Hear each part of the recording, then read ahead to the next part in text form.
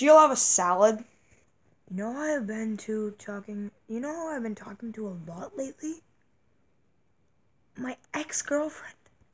I don't freaking care if he's gay. Stop texting him. If you think about it, to me, you, my opinion is just I think Valentine's Day is a bunch of stupid. It's just it's just a piece of ass. Yo, this girl's one second. This girl's super hot. Hello. Don't kiss me in front of other girls. I don't really want them to know that we're dating. I hate the Food Network.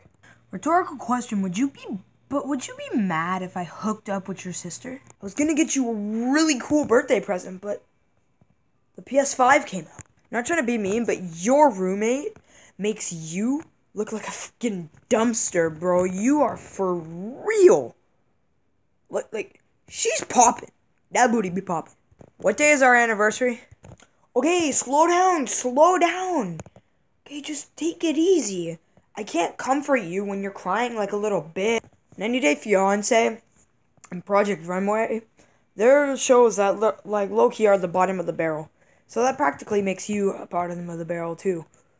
Just look at your roommate. She hot. I literally sent so many friggin' drunk texts.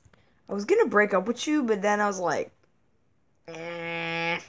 Thank Almighty God above that you kind of have some like some like hot spots because your jokes are horrible as hell.